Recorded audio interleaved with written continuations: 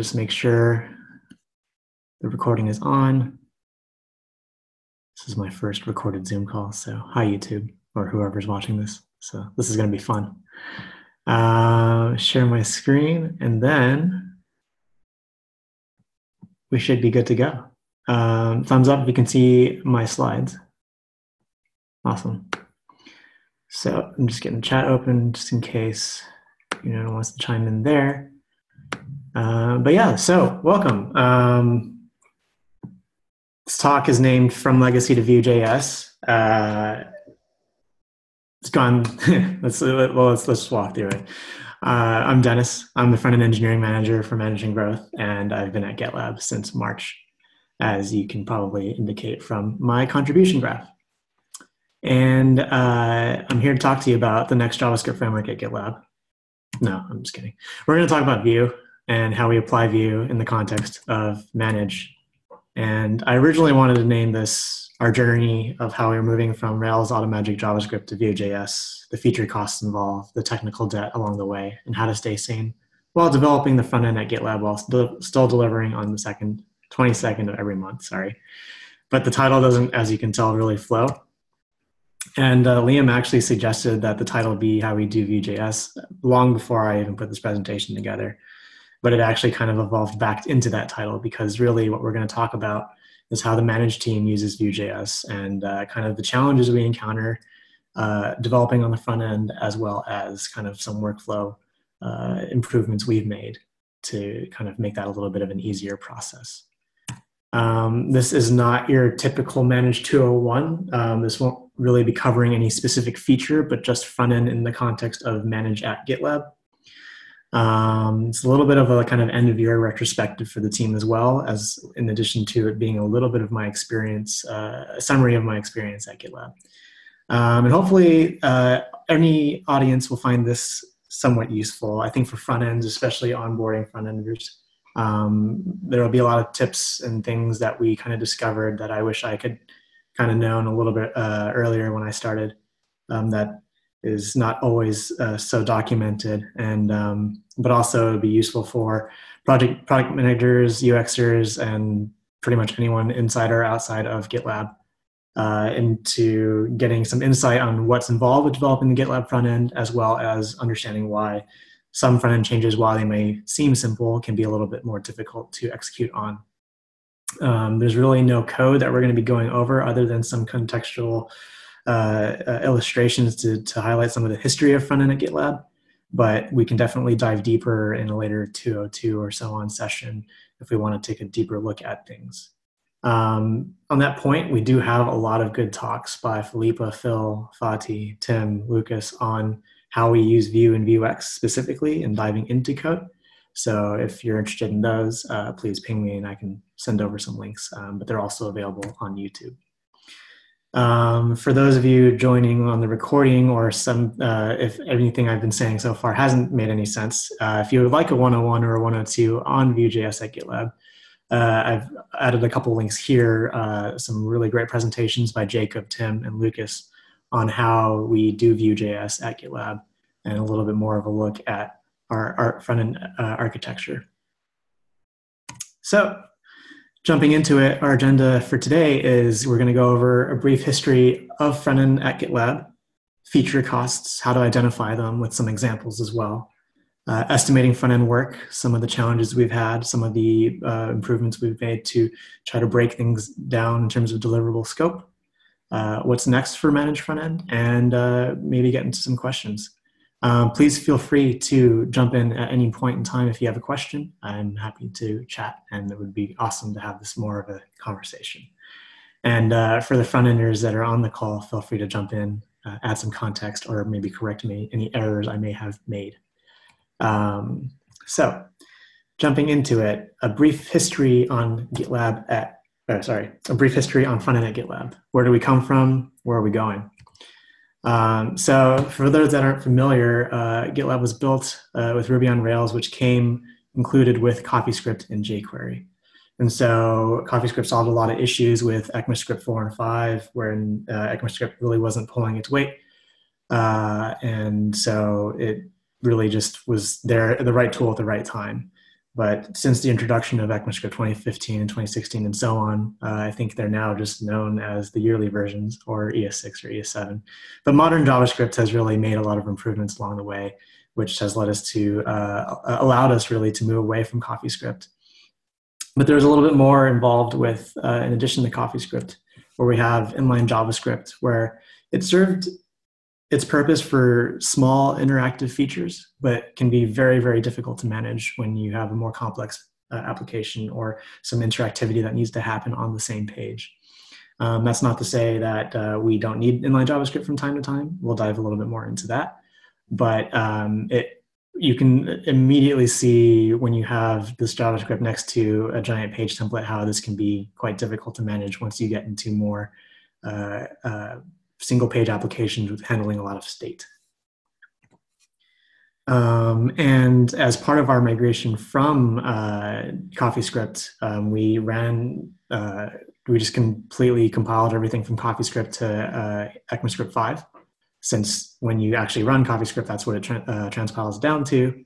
So uh, we just had a mix of jQuery and JavaScript uh, in ECMAScript 5. So the thing, the nice thing was that there was a clean migration. There's no broken tests because literally functionally nothing has changed. And then we wanted to move to the next step, which is just moving to plain JavaScript, vanilla JavaScript, uh, and manually writing uh, ECMAScript 5 to ECMAScript 6 on a as needed basis. So we still use jQuery, uh, you know, currently, and actually, before we wanted to move to Vue.js, we wanted to consider using continuing to use jQuery because it handled things like collections nicely. Um, when ECMAScript 6 was still kind of getting more features added to it, and um, but ultimately we decided to move to Vue, which is kind of where we want to move all of our front end features to, uh, and be able to encapsulate all of our components and applications into these composable single file uh, components where we can have all of the wiring, all of the data going, and, and all of the templating for a given component application um, more clearly organized in a more component structure. Um, additionally, we have another, um, actually, so just to recap, um, CoffeeScript is gone. Inline JavaScript is mostly gone. We still have some cases where we still need that. Um, but all of our code exists as jQuery, ECMAScript 6, or Vue. Now, there are still areas of our code base that are a mix of HAML and jQuery, uh, and that's not necessarily a bad thing. We like HAML. Um, it's kind of the intersection of the front end and back end, where a lot of the back end data that we need right now is fed through as HAML um, or HTML attributes uh, that get fed into our JavaScript and Vue applications.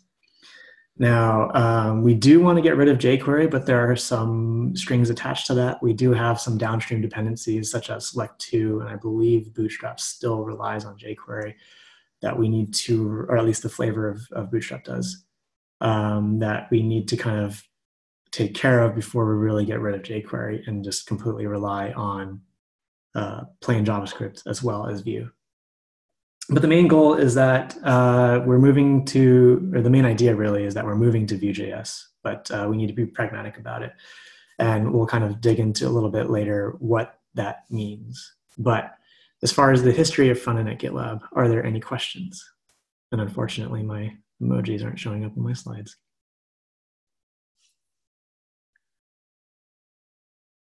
Cool. Well, let's move on.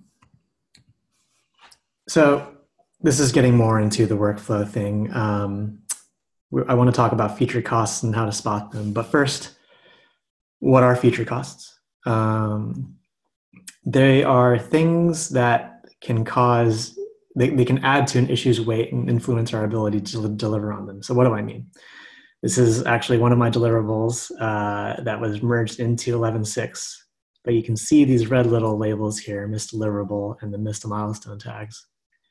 And so feature costs are things that can influence uh, and, and cause you to miss your deliverables. So it's more specifically, it can be things like technical debt, um, cross-team dependencies, uh, unforeseen requirements, things that we may not have discovered until halfway through the issue, um, and maybe a disparity between how our open source edition works versus our source available edition works, and uh, maybe unaccounted features that that may exist in EE that we haven't accounted for when we were working on it in CE.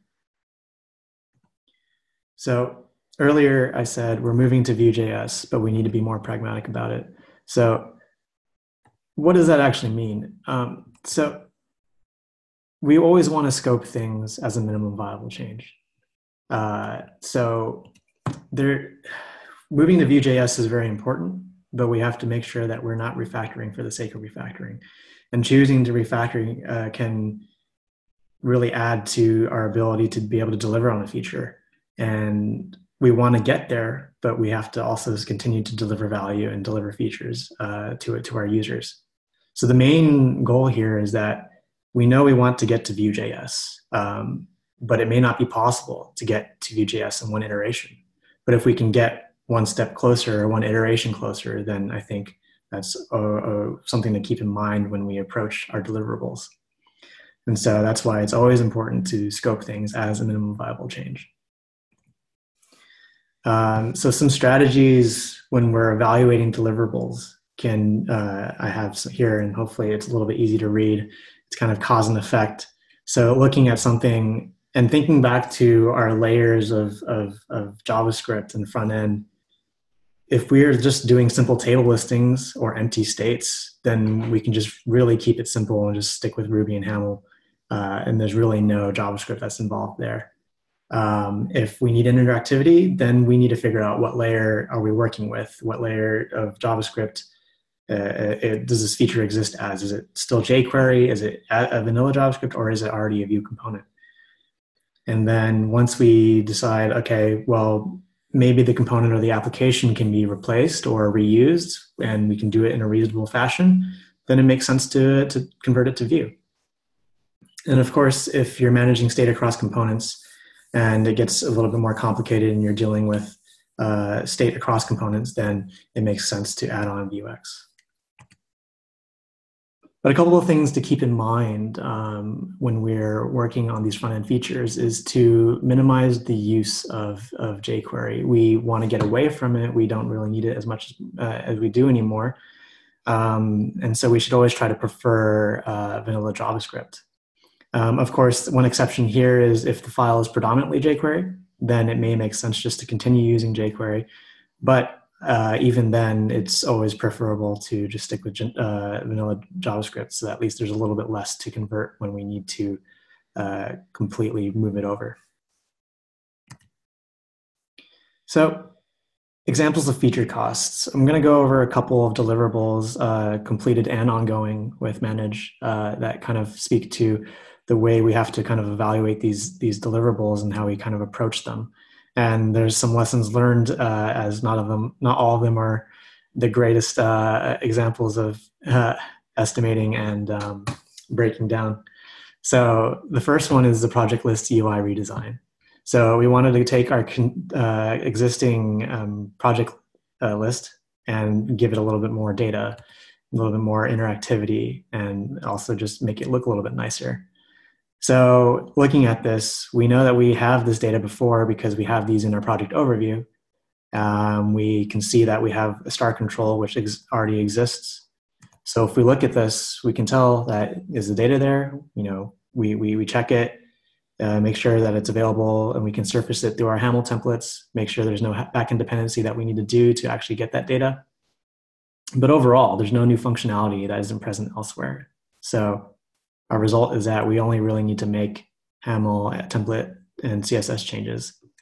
So we don't have to convert this table to a giant Vue component. It's just kind of doing, along with our GitLab principles, is just keeping it simple, using boring solutions. Uh, we've just made some minimal changes possible.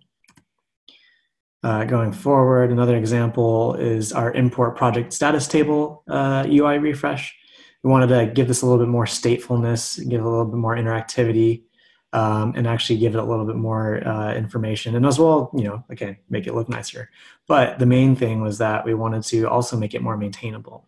So in this case, um, while we added statefulness and you know when we can tell when a project is running or when something's done and we can go to the project um, we also realized looking at the code that uh, it was quite old and difficult to maintain And so, kind of summarizing this all up, when we needed more interactivity uh, and we wanted to improve the maintainability of the implementation, then it made sense to convert it to Vue and Vuex. Moving forward, we had group level project templates, and this is actually kind of the example of where we currently kind of need inline JavaScript. But um, this one is uh, we'll be shipping in 11.6 and uh, is a follow up from our instance level project templates. So really, there's not much difference between instance level project templates and group level project templates. The main difference is that you can obviously in group templates have multiple templates that belong to a subgroup. But overall, the feature is primarily the same. Now, that's not to say that on the back end, there's still work that needs to be done because there definitely was. But on the front end side of things, uh, there was a lot of existing functionality that we could leverage. And so again, we went with a boring solution. We quite literally copied the solution from instance level project templates and added the minimal JavaScript we needed to be able to have that expand and collapse functionality. And so this is an, one final example, which is my favorite, which I won't forget at GitLab because uh, this is an example of how things can go wrong uh, and how you can estimate things or want to refactor things and uh, really just kind of have a snowball effect where uh, you have a deliverable that misses uh, cycles repeatedly. And so the concept of this was quite easy. We have this project dropdown, which allows you to see your uh, frequently visited projects, and we wanted to copy it over to the groups uh, tab and just show you the groups that you uh, you visit the most. So this was quite easy. Uh, uh, there were no dependencies. The data was already there, and uh, my manager actually advised me to just copy and paste the code from frequent projects. But I decided, being new to GitLab and wanting to really uh, deliver as much value as possible to decide to consolidate all these components into one right? Why copy the code? Why have duplicate code when we can just make it easier and have one component handle it for both? But along the way i also decided let's convert it to Vue that was all good. And then i said well there's some statefulness involved with this. I can use the actions to retrieve the frequent projects and groups. Um, i can use some mutations and, and really get vuex going here uh, so I decided to add Vuex on top of it. And what ended up happening was a uh, what should have been a very simple task turned into uh, something that lasted between I think two release cycles. So it was definitely something that uh, I learned and that really inspired me to kind of put this this presentation together to really understand that yeah we really need to be pragmatic about how we uh, migrate things to Vue and how we get there, and um, also understanding the scope of a given deliverable and, and how we really want to to approach it. But to recap in terms of feature costs and how to identify them and how to how to really approach it, uh, you know, pick the best approach that makes sense to you. Um, it's something you really need to talk with with your product manager, your UX uh, counterpart, as well as your backend and front end uh, teammates as well, to figure out what data needs to be there, uh, what what changes need to happen, and maybe if it has to be a refactor, can it be broken down further? Is there, you know, more uh, of an MVC somewhere in between? And all of that's just to figure out how we can d- design your next iteration to be a step in the right direction to get to things like Vue.js. Um, and it's it's obviously okay to be uh, ambitious, but it's also important to to have a gut check and be a little bit more realistic as well. So, any questions about feature costs so far?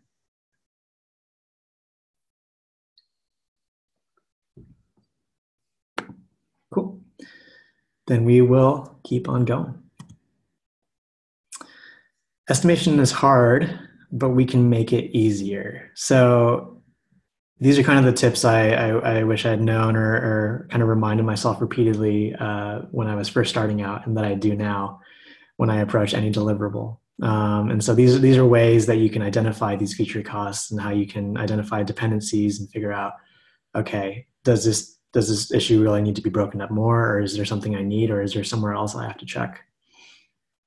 So just jumping into it, we've got a front end development process, this kind of checklist of all these things that we can do when we're planning and executing the development of a front end feature. There's a link to this later on, and it's quite exhaustive, I would say. Uh, and all the points are quite valuable. But there, I kind of have a, a, top, I think it's like eight or so that I really ask myself for each deliverable, and then I can dive a little bit deeper if these questions uh, really cause more questions. Um, so the first one is, what is the feature composed of? Is it primarily Ruby? Is it uh, does it need backend support? Are there helpers for this? Is there is there data I need to surface? Is it actually stretching into an area that maybe I need some backend support for?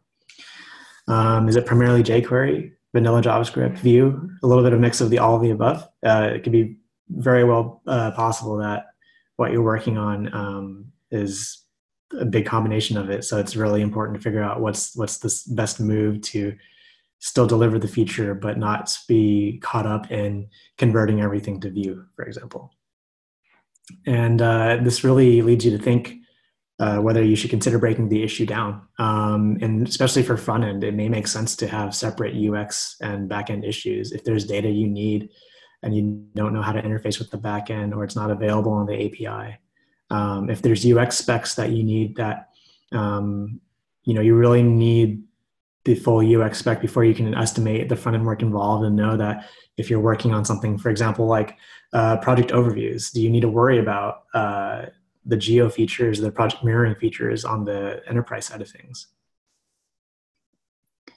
Um, and that, and just going back to that, that may actually mean that uh, like these UX and backend uh, uh, ticket, uh, these issues might have to be like a release before you actually go in and and execute on your work, and, and that might be okay. But taking a look at all of this and what's involved with delivering on your your feature uh, will at least help you identify that and makes it easier to actually make that case uh, for splitting things up and maybe scheduling things a little bit differently. Another question worth asking um, when you're breaking this down is how much interactivity is needed? Does it even need Vue.js? Um, is it a drop down? One kind of perfect example of uh, technical debt is that we uh, have four different uh, job, uh, drop down libraries. So, which library do we need to use? Um, we want to get rid of all of them. We would love to have just one that does it all for us, but certain ones solve different use cases. And I have my night mode turning on, so let me just switch that back. Sorry about that. Um, but yeah, it's just trying to figure out um, how much interactivity is actually needed and determining how much JavaScript you actually have to write to achieve it um, what already exists that you can use, um, what components from Bootstrap 4 and GitLab UI are available. Uh, and I'll get a little bit more into some UI resources that are available to us uh, that we want to try to utilize as much as possible, such as our design system, CSS Lab, our CSS framework, and GitLab UI, our Vue Bootstrap component library. So taking a look at what you need to deliver on and what is available to you uh, and trying to figure out how much how little you actually need to do or or how much or what's what's the diff between what's available and what you need to actually do to achieve the feature um, is is a great question. But also one thing worth asking is if there's existing code does it make sense to migrate it to css lab or gitlab ui um, and so getting into our tools a little bit it's a little bit of a break between these approaches is uh, our, our tools that we have as front enders available to us so we have Pajama as our GitLab design system with all of the components and all of the methodology and the reasoning behind our typography. Our components are things like our popovers, how we do modals and things like that, which is heavily leaning on Bootstrap 4, but also with the GitLab flavor uh, kind of mixed into it. Um, we have GitLab UI, which is our Vue Bootstrap framework, uh, which you have links here to check out our storybook uh, to actually be able to interact with the components and uh, change the parameters around that. And then we also have CSS Lab, which is our uh, CSS framework that we're slowly migrating our existing uh, CSS over to um, to uh, hopefully kind of be our comprehensive and our single source of truth in terms of our CSS across GitLab UI and other GitLab uh, applications perhaps as well. Um, and another question to ask when you're evaluating deliverables on the front end is, is the data available uh, from the back end? And that means can you make the right uh, can, can you write make the right queries to surface it in the controller to expose it in the HAML templates? Or is it available on the API? Should it be available on the API? More often than not, maybe we want to have that available not only for the front end to consume, but for API users as well. We've, we've also got GraphQL as uh, when we want to query for additional data, which we're slowly starting to use as well. So these are all different questions, and this is like a big dependency, of course, with front end of, you know, is there backend data available, or do I need backend support or do database support to really get what I need to build this feature?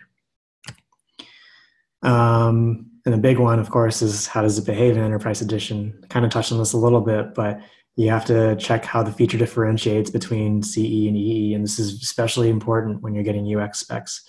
And uh, there may be some hidden, un, uh, unconfigured options or features on the enterprise side of things that you have to really look in the code to identify.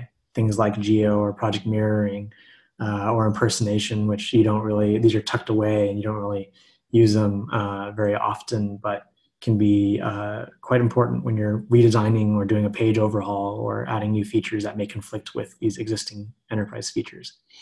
And it's also just good just to check twice, um, which is why I put "Are you sure?" Because it can definitely come to, to haunt you if you don't account for the different uh, feature the feature differences between CE and EE.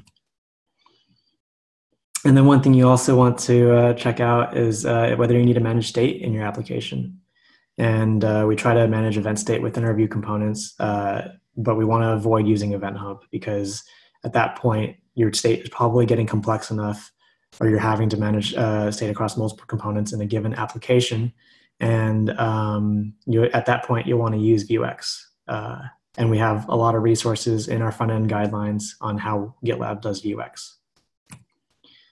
Um, and this is the last point tests. Um, you got to check if there are any, uh, and we have to account for it in unit tests, of course, but also check our functional RSpec tests, see if where the existing ones are, and if we add we if we have to add new ones.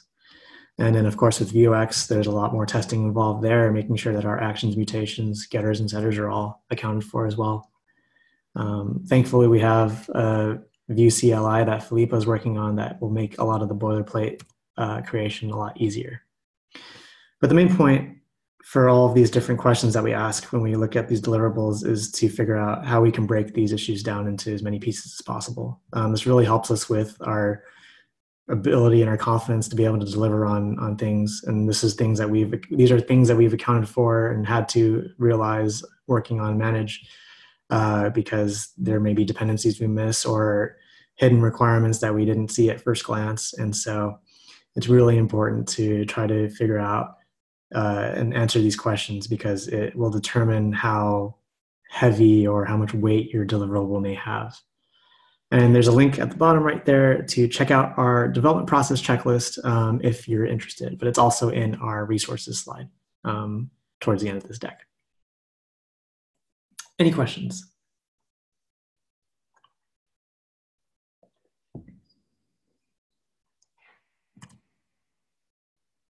Cool. So we're on the tail end here, um, and I realize we're a little bit over, but I'll try to uh, hurry it up. Um, but what's next is uh, not, it might, it might, surprise you, but we just keep shipping. We move fast and we continue shipping the d- minimum viable change. But along the way, we can improve our processes uh, and our workflows. But the main goal is that we just continue to move towards Vue.js, uh, but make sh- and, and slowly but surely bring our code to the latest standards and guidelines it kind of opens. Ah, that's right. Sorry, I thought it was at three, um, not three thirty. Thank you for the reminder. Um, but I don't think there was anything that I, I missed on that last one. Um, it's it's really no surprise there. We just have to keep shipping, but we have to uh, just continually improve ourselves uh, when we break down deliverables and uh, try to identify these feature costs as much as possible. Um, some questions to ask ourselves too, which is kind of a little bit excite, uh, exciting maybe um, for some of us, is you know as we move away from Haml and and and, and Ruby, you know, will we need server side rendering if we need to worry about kind of the content when we first load pages? Um, obviously, performance is a continual question on how we continue to deliver the better user experience while we have these different layers of JavaScript. And uh, one conversation that I know is kind of happening right now, I'm not really sure the current status of it, but is, you know, does GitLab can, uh, start to operate API first? And does that mean we have to create kind of a bigger single page application that the uh, that will be the GitLab UI and then interact with uh, GitLab as a as an API. Um, there's also other topics that we can uh, dive into, like progressive web apps, and like we're moving towards Jest for faster testing and, and better testing. But uh, yeah, it's just um, it's exciting.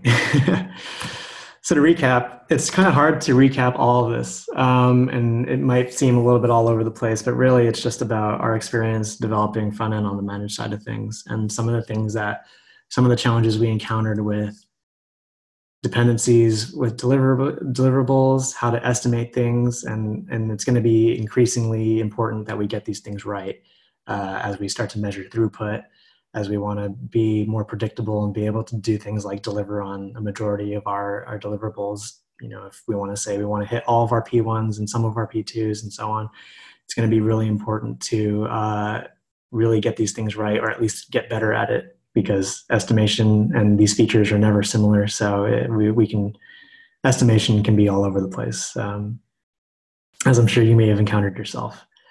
Uh, features can encounter a number of road bumps that will cause you to miss release cycles, but that's, okay. Uh, that's okay. Um, I think, as mentioned, if we continually improve our process, uh, then we, we will over time get better at it.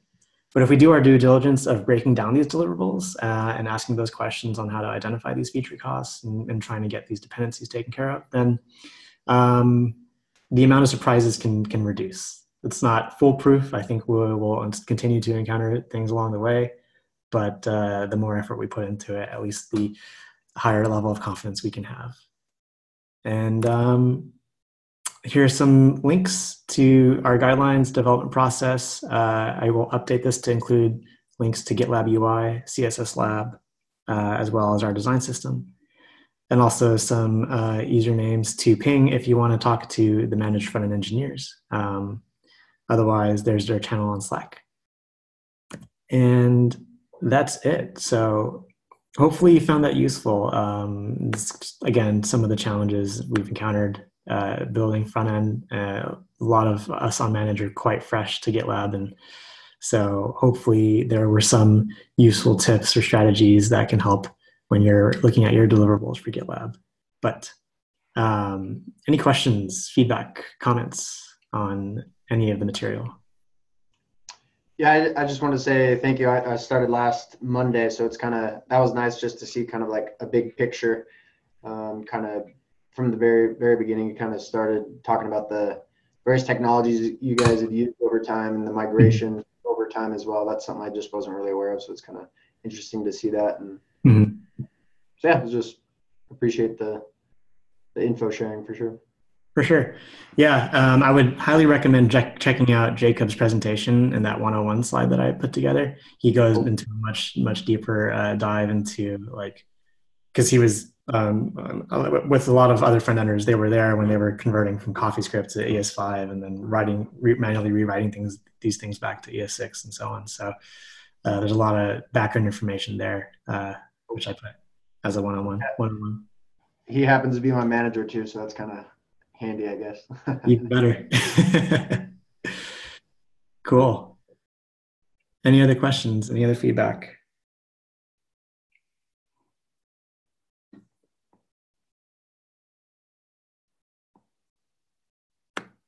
Awesome. Well, thanks for tuning in uh, for those that joined live. Uh, thanks for watching for those who are watching the recording.